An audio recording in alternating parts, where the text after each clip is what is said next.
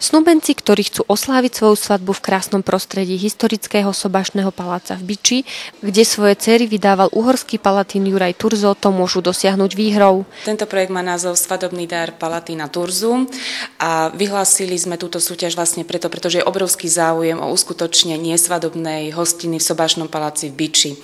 A keďže v súvislosti s platnými právnymi predpismi o užívaní sobašného paláca v Biči nemôžeme uspokojiť všetkých záujemcov, rozhodli sme sa vyhlásiť túto súťaž. Podmienkou zaradenia do súťaže sú návštevy piatich expozícií Považského múzea a k tomu ešte aspoň po jednej v Kisuckom, Oravskom alebo Liptovskom múzeu. Oravský hrad e, navštíví približne 170 tisíc za minulý rok návštevníkov.